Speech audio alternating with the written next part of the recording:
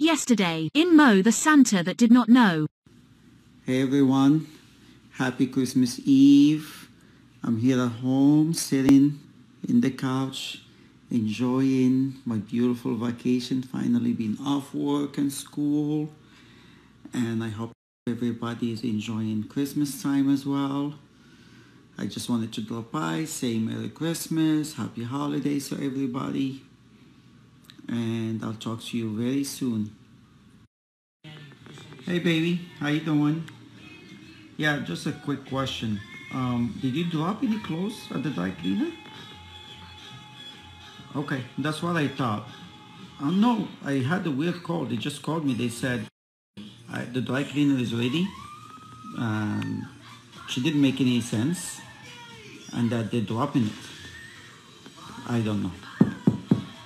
Okay, I think they're here. So, okay, I'll talk to you later. Bye.